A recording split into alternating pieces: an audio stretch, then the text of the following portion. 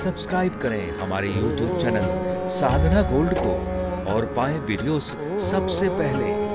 Bell icon दबाना ना भूलें। कि जिसके जीवन में गोविंद की कृपा प्राप्त हो जाती है या जो व्यक्ति सत्कर्म करता है, जो व्यक्ति अच्छे कार्य करता है, उसके ऊपर से समस्त दोष और श्राप स्वतः ही मिट जाते हैं। हम भी तो श्रापित है ना, हम सब भी तो श्रापित हैं, सभी विषयों से घिरे हुए ये शरीर जो मिला है, ये श्रापित, ये मनुष्य शरीर कोई वो नहीं है, ये भी श्रापित शरीर है। देखो, देवता जो ऊपर बैठे हैं, सबसे ऊपर, उनके ऊपर भी परम परम परम भी हैं, लेकिन पाँच मिनट की नहीं, मान लो कि शिव।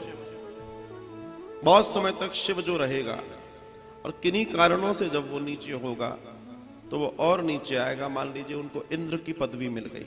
बहुत ध्यान से समझिएगा।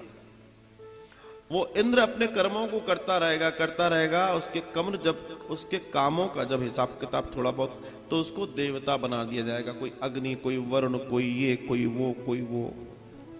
फिर वो देवताओं के जब पुण्य कर्म होते हैं तो वो गंधर्व हो जाते हैं।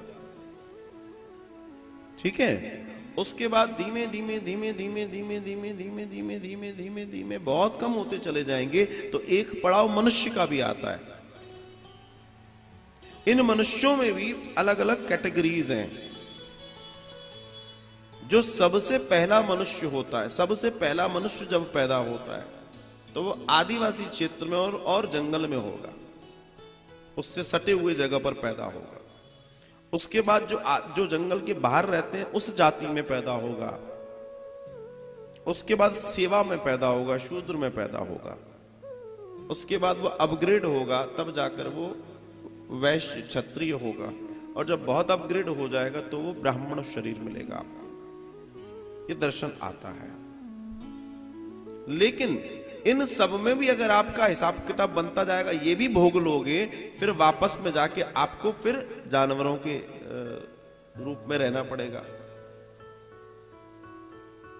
ऐसे तमाम शरीर मिलते हैं और उन शरीरों का अपना क्रम चलता रहता है। इन्हीं की स्थिति को चौरासी लाख में डाल दिया जाता है। ब्रह्मांड भी चौरासी लाख है। एक ब्रह्मांड का एक गणित चौरासी लाख का बैठता है।